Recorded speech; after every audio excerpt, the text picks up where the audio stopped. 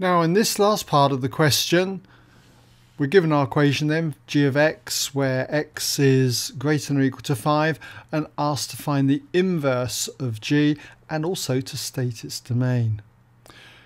Now when it comes to working out the inverse function, what I like to do is just say let x equal and wherever there's an x in the equation, just change it to a y. So we've got 2y plus 5 all over y minus 3. And what we're going to do now is just make y the subject.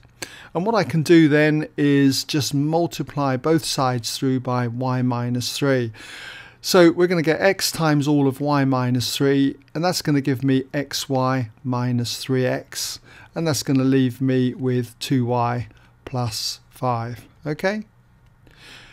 Now all I need to do is group the terms containing a y to one side and I'm going to add the 3x to the other side. So let's subtract the 2y from both sides and I'm also going to imagine pulling out y then as a common factor. So we've got y multiplied with the x here and then we've got minus 2y so put minus 2 there and that's going to equal the 3x plus the 5 okay so all I did there was just add 3x to both sides and subtract 2y from both sides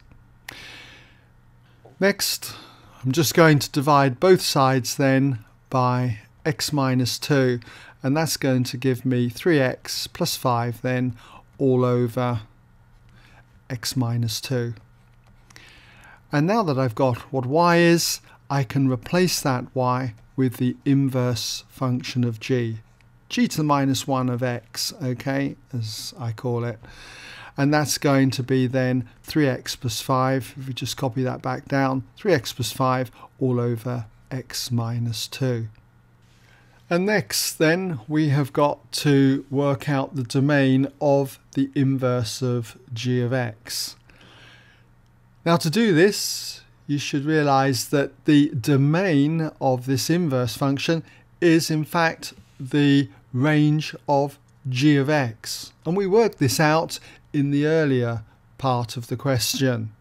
If you're unsure of this, I've got it in tutorials, but essentially it's based on this idea that if you have the graph, in this case of g of x, which we worked out in the previous part of the question, then if we reflect this in the graph y equals x, this diagonal here, then this asymptote here becomes a vertical asymptote and if I draw that in that asymptote is x equals 2 and we reflect this graph here in y equals x and you're going to get this image here.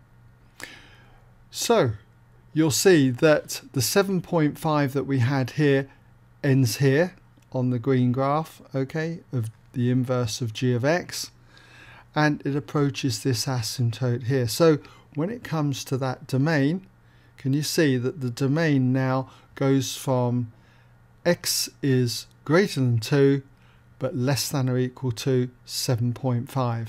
If I just put that in there, that's your answer. And you can see it's exactly the same as what we had for the range of g of x. Okay, so I hope that's given you an idea on that question, if it was causing any problem. So thanks for watching and uh, if you need any help in any other questions, hopefully I'll chat to you later.